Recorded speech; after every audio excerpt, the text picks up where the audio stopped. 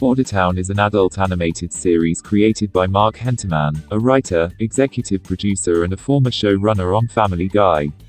Bordertown is produced jointly by Bento Box Entertainment, Fuzzy Door Productions, 20th Century Fox Television, and Hentemann Films for the Fox Network. Hentemann came up with the idea for Bordertown when George W. Bush was in office and there were suggestions going around of building a security fence along the border which caused a heated debate. When Hentemann first pitched the idea to Fox they weren't interested in it, because of that Hentemann said he kind of put it on a shelf believing that his idea is no longer relevant. However, in 2013 Fox greenlit the show for a season, ordering 13 episodes.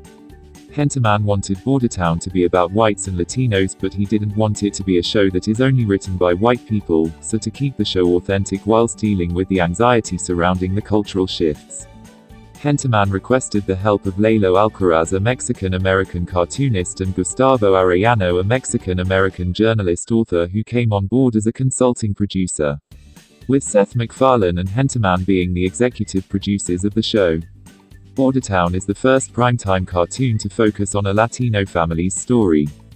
The show is set in the universe of Family Guy, The Cleveland Show and American Dad seeing that the Buchwald's house is said to be built over the set of the Cleveland show.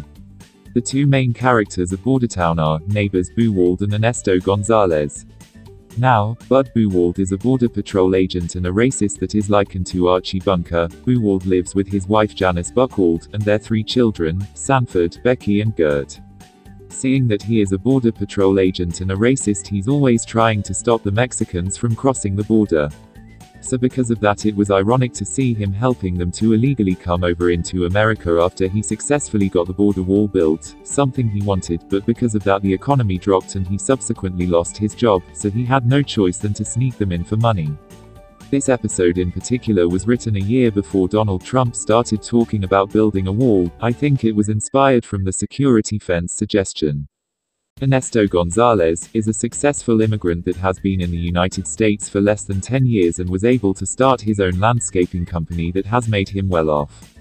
In the episode Drug Lord, Buchwald tries to be more successful than Ernesto, and that led him to start working for drug kingpin Pablo Barracuda at the border station. Each episodes open up with Buchwald chasing famed human smuggler, El Coyote, but unable to apprehend him. The creators used that as a way to let people know it is impossible to stop the migration of Mexicans no matter what kind, even if there is anti-immigration politicians trying to. Bordertown premiered on Fox on January 3, 2016. In the United Kingdom on ITV2 on February 29, 2016, in Australia on Channel 11 on February 3, 2016 and in Canada on the Channel City.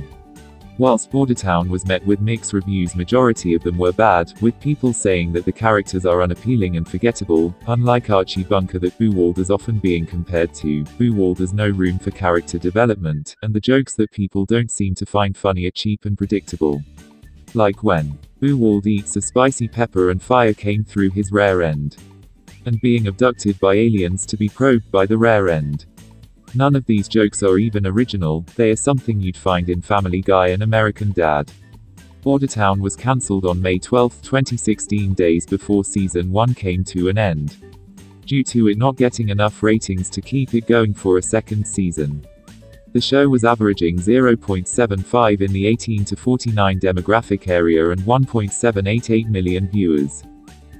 In an interview with NBC News Latino before the final episode aired, writers and consulting producers Lalo Alcaraz and Gustavo Arellano said, and I quote, There are so many stories that we wanted to tell, and in this day and age, it is the time to have a politically edged cartoon about the US to Mexico border. Now more than ever is the time to have a cartoon that can highlight the insanity and inanities of the issues concerning immigrants, but also the hilarity involved in them.